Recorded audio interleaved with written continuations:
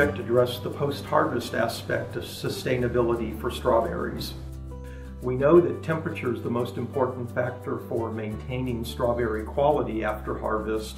So in what we did was evaluate the quality of strawberries at harvest and then track their temperature during the shipping to the distribution centers for Walmart. And then what we wanted to do was to see how that temperature variability and the variability in initial quality affected the final quality of strawberries for consumers.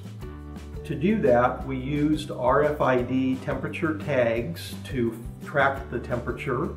We used a system for evaluating strawberry quality that had been developed within our team earlier and we tracked the strawberries from the farm to the DCs.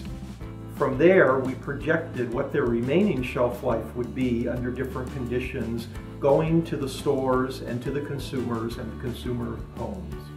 My name is Cecilia Nunes and I'm an assistant professor in food science at University of South Florida.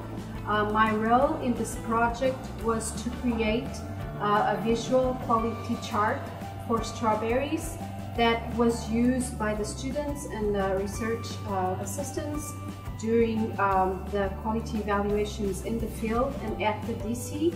This um, uh, strawberry chart can uh, then be used by the strawberry industry in their quality control processes. Hello, this is Ricardo Medea. I am the research assistant who did the quality evaluation. Dr. Nunes trained me on how to do the quality analysis in the laboratory.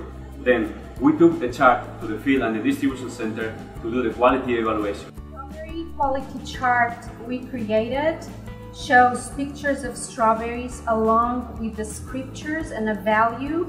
The value ranges from 5 to 1, where 5 is optimum quality strawberries that were freshly harvested, and 1 are strawberries that are really unacceptable, either because they show decay or they're bruised or leaked and then uh, an, uh, a value of 3 which is the limit of acceptability where the strawberries still look good and they are acceptable for sale. So below that rating, uh, they're no longer acceptable for sale and above that rating, they're still considered excellent strawberries.